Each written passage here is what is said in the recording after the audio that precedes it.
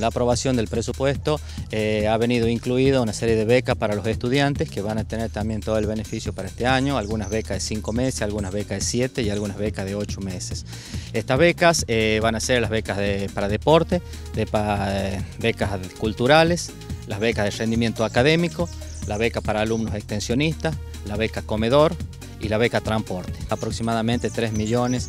de pesos que han sido destinados para las becas estudiantes. Tenemos un promedio aproximado de becas, entre 2.000 a 3.000 becas más o menos se vamos a estar entregando en distintos tipos de becas, porque también están las becas graduados, están todas las becas de los docentes, están las becas de los posgraduados y también las becas se va a distribuir todo lo que es capital en lo que es el interior.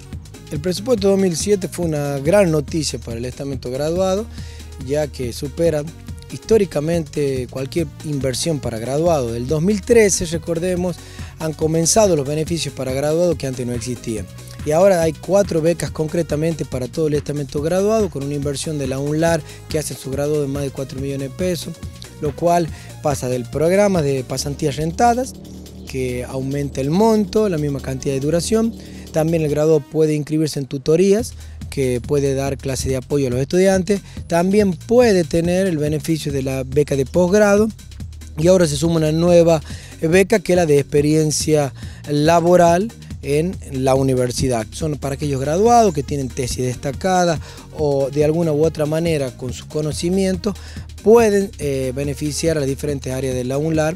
eh, para su funcionamiento. Lo que son eh, pasantías, tutorías y las becas de experiencia laboral son más de 120 graduados y se aumenta el cupo con aquellos que se inscriban y gocen de la beca de posgrado. Es una apuesta fuerte que hace la Universidad de La Rioja que pasa desde sus estudiantes ingresados hasta sus graduados, eh, teniendo en cuenta la inserción al mercado laboral, que es un, anhelo y un esfuerzo que hace la universidad permanentemente. En la semana a partir del 14, cuando empiece el año académico, tanto la Secretaría Estudiantil como la Secretaría de Extensión y la Secretaría de Graduado va a abrir las convocatorias en la cual con los requisitos que ya están estipulados y los vamos a empezar a difundir, eh, el estudiante o el graduado o el docente se va a poder inscribir en la beca o digamos postularse para la beca a la cual elija.